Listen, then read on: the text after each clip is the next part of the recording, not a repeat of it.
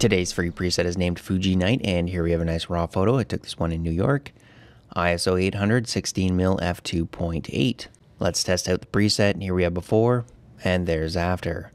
Before and after, and this gives it a nice film emulation look. And if you're looking for more presets and profiles like this, check out the Creative Flow. And we're going to go down to the film emulation portion right here. Let's go to the Fuji folder, open that. And let's go to Provia Cool. There we go.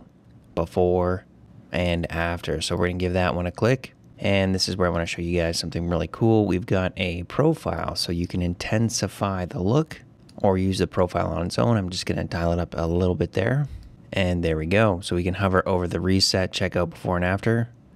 There's before and there's after. So if you want to download the free Lightroom preset Fuji Night, go to presetpro.com, look under the free tab and check out new presets. And if you want to take your photos to the next level, check out the Creative Flow. It has 1200 Lightroom presets and 1200 Lightroom profiles. We've added a whole bunch of new collections like the Adventure, Lifestyle, and Matte. Thanks for watching and see you in the next video.